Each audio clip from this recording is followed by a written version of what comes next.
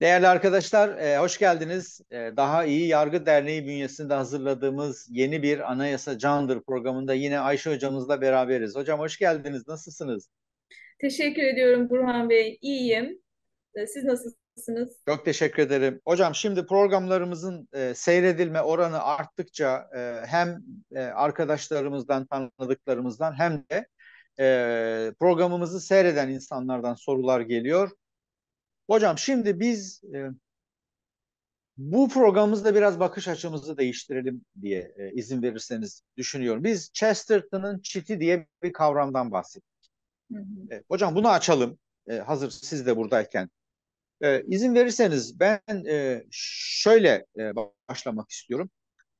Hocam Chesterton aslında bir bilim insanı. 1929 yılında The Thing diye bir kitap yazmış hocam. Şöyle diyor hani Chesterton'ın çiti meselesinde. Bu doğrudan Chesterton'ın kendi ifadesi.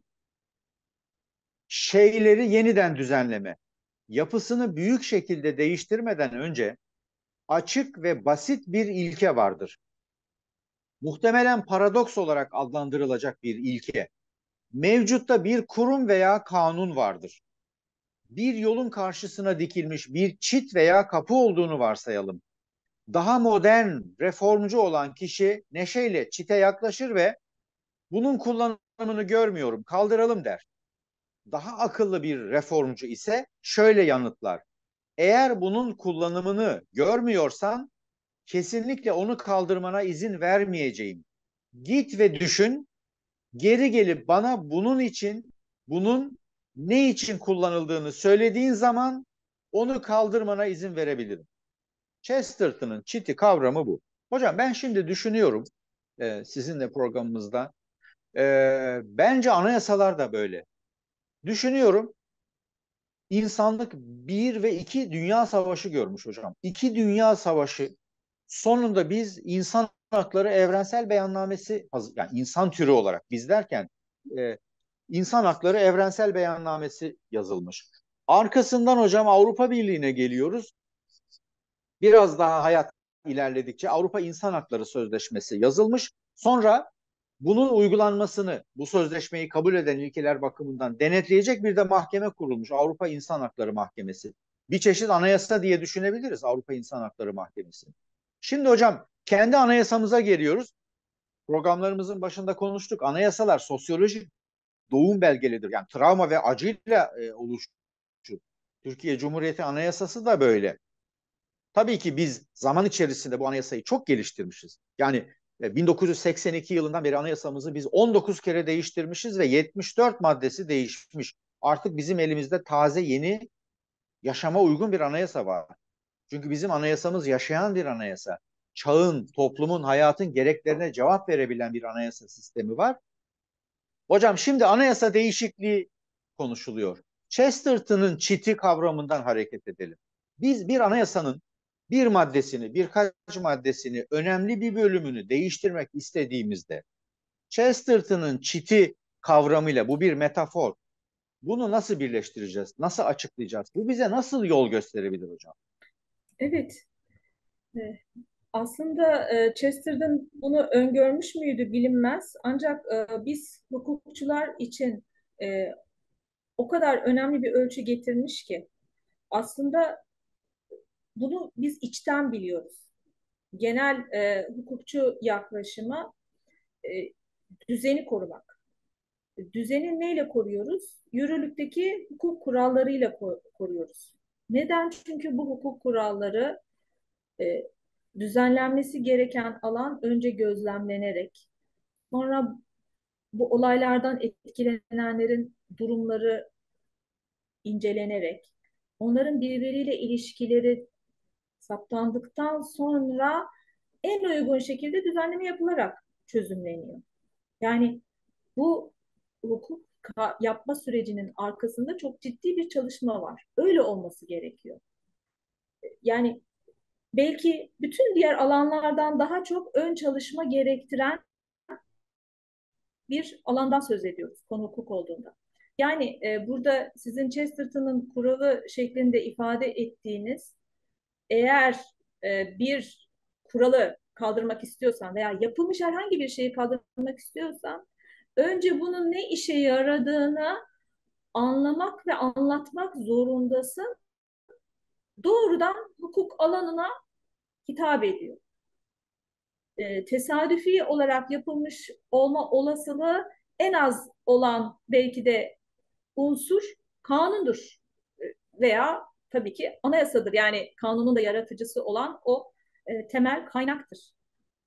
Şimdi dolayısıyla bu e, akıl kuralı, akli kural çerçevesinde düşündüğümüzde e, bir anayasa kuralını e, değiştirmek isteyen e, herhangi bir kişi, bir kurum, bir erk normal bir düzen içerisinde öncelikle o değiştirmek istediği hükmün hangi işleri gördüğünü, hangi e, işlevleri yerine getirdiğini açıklayabilecek durumda olmalıdır.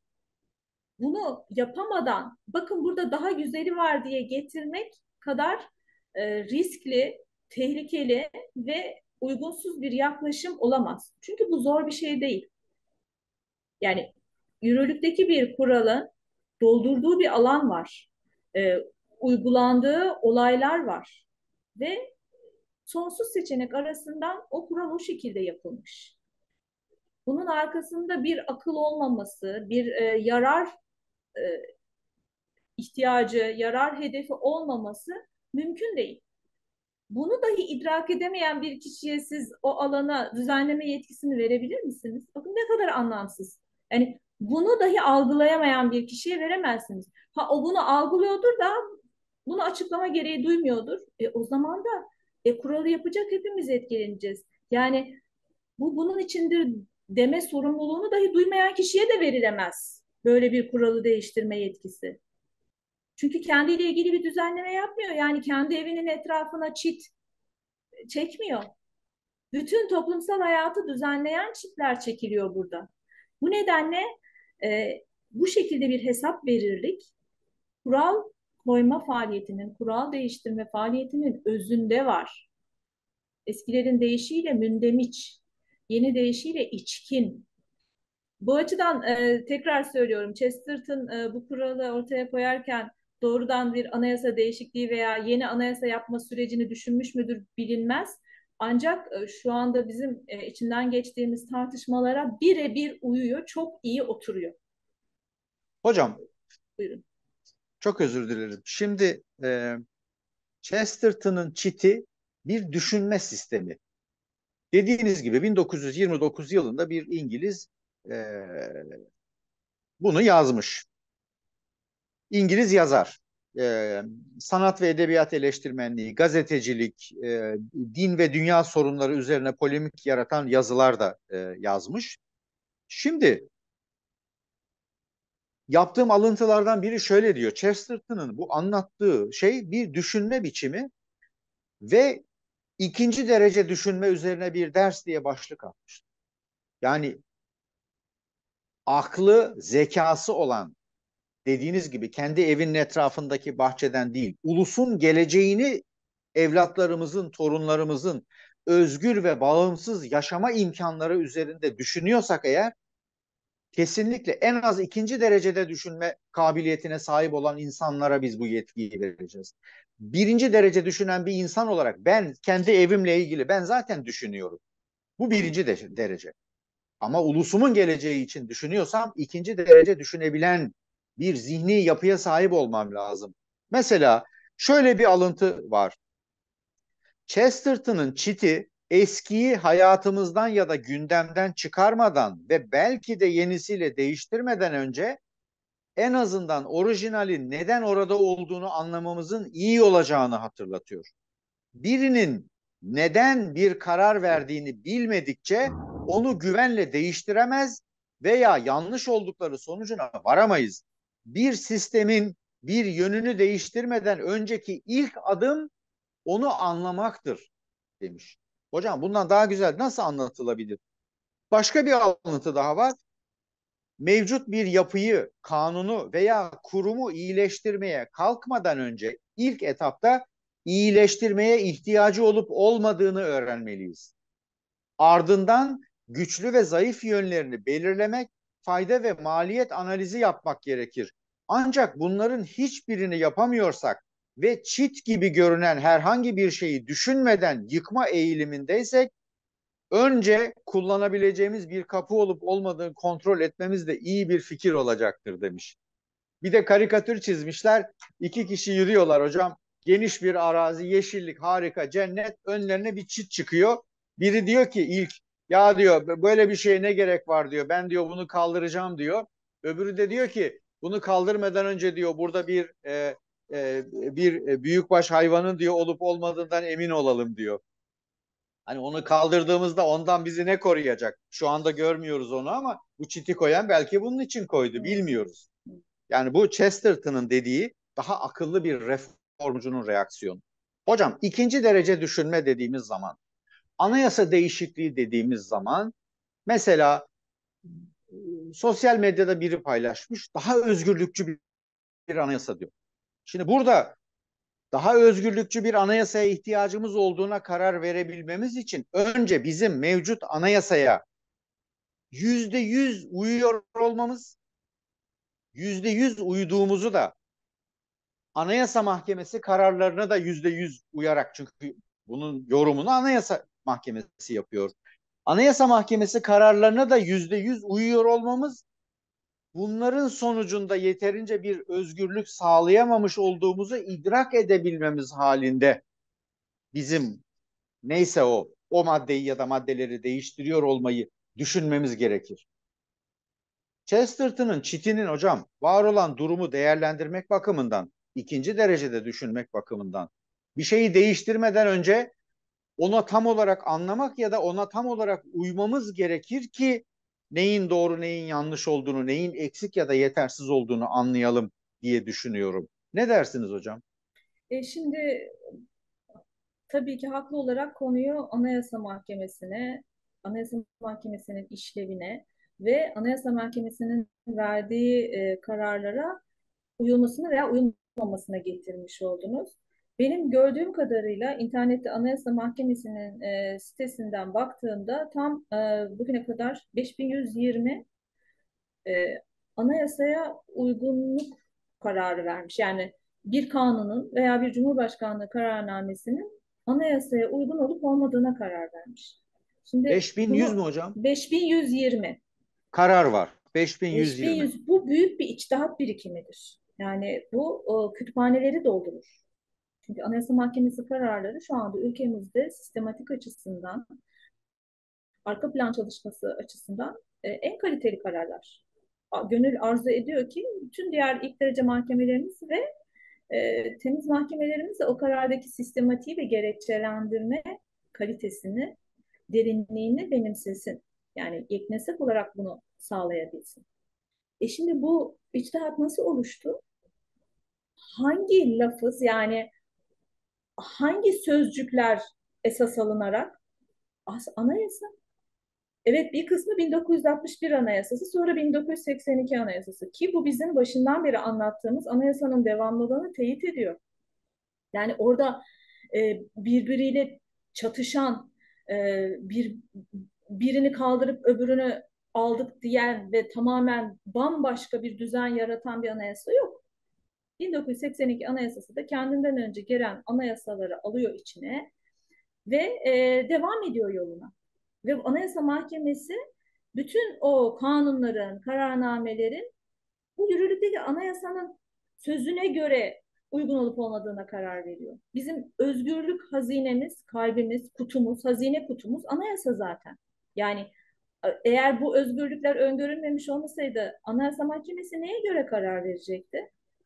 E şimdi bütün o oluşmuş içtihat e, bir nevi iğneyle kuyu kazılmış, ilmek ilmek örülmüş bir içtihattan bahsediyoruz. Yani ben anayasanın şu sözünden bunu anlıyorum. Anayasa burada böyle bir özgürlük alanı yaratmış. Anayasa Mahkemesi kararlarından biz bunları anlıyoruz. Çünkü bu metinlere, hukuk metinlerine ruhunu üfleyen bu kuralların uygulayıcısı olan mahkemelerdir. Biz zaten mahkemelerimizden bunu bekliyoruz. O iki boyutlu e, kağıt üzerine basılı o mürekkep e, ifadelerinin üç boyuta ermesini. erdirmelerini bekliyoruz. Canlandırmalarını bekliyoruz. Yani ne anlamamız gerekiyormuş bu özgürlüklerden? Biz dediğiniz gibi ikinci katmana, üçüncü katmana gelmişken hop bir anda altınızdan halının çekildiğini düşünün. E, küt diye düşersiniz, boşlukta kalırsınız. Bu içtihatlar nereye gidecek? Yani bu şekilde bir bir kere büyük bir anda kaldırdın hepsini attım demenin bir kere çok büyük böyle bir zararı olacak. Çünkü siz lafzı değiştirdiğinizde yeniden bir içtihat üretmek ve tekrardan o kavramlar üzerinde oydaşmak gerekiyor. Yani kaldırıp Anayasa Mahkemesi'nin 60 yıllık birikimini atacaksınız. Bir kere böyle bir zarar kesin olarak var. Ama ben işin onusundan da geçtim. Şu dahi denebiliyor. Yani ben bunun varsayımsal tabii olarak söylenebileceğini ancak ümit ediyorum. Böyle bir şey gerçekten söylemez. Anayasa Mahkemesi kaldırılsın efendim. Mesela hani beğenmediniz Anayasa Mahkemesi'nin verdiği bir kararı. Böyle bir şey söyleyebilir misiniz? Bu da yine Chesterton kuralıyla düşündüğümüzde Anayasa Mahkemesi'nin ne işe yaradığını biliyor musunuz? Dolayısıyla siz kaldırılsın dediği zaman, dediğiniz zaman işlevini anlayarak mı bunu söylüyorsunuz? Bu soruları sormak lazım. Yani bunlar maalesef e, o kadar aşkın ifadeler ki hukuk düzeninin tamamen dışında kalıyor. Dünden bugüne oluşmuyor. Her geçen gün biz e, hukuk düzenimizi pekiştiriyoruz. Çünkü biz onu uyulacak düzen, uyulacak kurallar olarak kabul ediyoruz. Her gün bizim inancımız tazeleniyor. Orada çok büyük bir değer oluşuyor. Evet, bir anda yıkabilirsiniz ama işte bu zaten darbe demektir. Bir anda yıktım demek. Bunu ortadan kaldırın. Bir anda yıktım dediğiniz anda mesela anayasanın ilk üç maddesi de gidiyor. Onların değiştirilemeyeceğini, değiştirilmesinin teklif dahi edilemeyeceğini öngören madde de gidiyor. Gitti. Dolayısıyla artık değiştirilemez, değiştirilmesi teklif dahi edilemez demenin de anlamı kalmadı. Çünkü yok. Böyle bir şey olabilir mi? Yani bu bir an için bile riske atılabilecek bir durum mu? Bu kadar bir riski almayı gerektiren yine hangi neden var? Yani o maddelerin, onun içerisindeki hükümlerin işlevi tam olarak anlaşıldı mı? Anlatılabiliyor mu? Dolayısıyla yeni bir anayasa yapacağım dediğiniz anda ve içeriğini de hiçbir şekilde söylemediğiniz anda aslında bayağı böyle bir e, e, çok tehlikeli bir iş yapıyorsunuz. Hani pimi çektim, atacağım, nereye atayım demiş gibi oluyorsunuz. Bu derece tehlikeli bir durumdan hmm. bahsediyoruz. Çünkü hukuk düzenlerinde sürdürülebilirlik esas, esastır. Biz her zaman güven havuzunu doldurmaya çalışırız. Bir e, ulusun aslında en büyük kaynağı o güven havuzudur. Hepimiz ona su taşımaya çalışırız. Borcumuzu ödediğimizde su taşırız. Efendim bir e, kuralı örneğin Anayasa Mahkemesi'nin açıkladığı gibi açıkladığımızda Aa, o kuraldan bu anlaşılması gerekiyormuş der. Oraya güven taşırız. Anayasa Mahkemesi kararına bütün kurumlar uyduğunda, idaresi, diğer mahkemeleri uyduğunda yine biz o güven havuzunu doldururuz. Bunu yapmadığımız her an ise havuzda delik açıyoruz demektir. Yani bizim bir de böyle bir riskimiz var. Ha ne ne ihtiyaç varmış? Kuralın amacının ne olduğunu, ne işe yaradığını anlatmayı. Tamam yazın oraya, oraya bir gerekçe. Bu da çok büyük bir risk. Yani dostlar alışverişte görsün. Ha böyle bir şeyler uydurmuşlar. İşte burada konuşuyorlar. Tamam canım onu da biz bertaraf ederiz. Hayır. Esas olan gerçekten bunun bir ihtiyaç olduğuna ikna olmak. Bu ben yaptım olduculuk ee, ve yani bir anda e, her şeyi değiştire ver, değiştiriverme cüreti çok büyük bir risk getiriyor. Düzen yüzyıllar Hocam, içerisinde oluşuyor. Bir anda yıkılabiliyor. Çok dikkat etmek gerekiyor. Evet. Hocam ben şöyle anlıyorum. Programımızı, bu programımızı böyle bitirelim izin verirseniz. Anayasaya sarılacağız. Güneşin ışığında kavrulmaktan bizi koruyan şemsiye anayasadır. Elbette çağın gereklerine uygun değişiklikler mümkün ve bizatihi anayasa buna izin veriyor. Yol ve yöntem gösteriyor. Ancak anayasamıza sevgiyle, koruma duygusuyla e, yaklaşacağız ve herhangi bir maddesini bile değiştirmek istediğimizde o maddenin neden orada olduğunu atalarımızın bizden önceki nesillerin çektiği acıları da o masanın önüne koyarak yeniden ve ikinci derece düşünebilme akıl ve zekasıyla değerlendirerek son derecede dikkatli bir şekilde ilerleyeceğiz.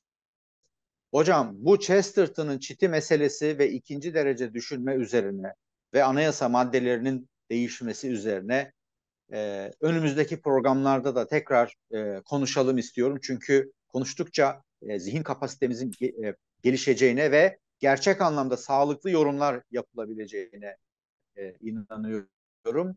Çok teşekkür ederim. Bizi bu kavramlarla aslında siz tanıştırdınız. E, bundan e, çalışmaya devam edelim hocam. Çok, Çok sağ olun. teşekkürler Burhan Bey. Anayasayı sevme vurgunuz o kadar önemli ki. Bunu sıklıkla dile getirelim. Sanırım bu programın da e, tanımlayıcı unsuru anayasamızı sevme, e, koruma mesajını bir kere daha iletelim. Çok teşekkür ederim. Çok teşekkürler hocam. Hoşçakalın.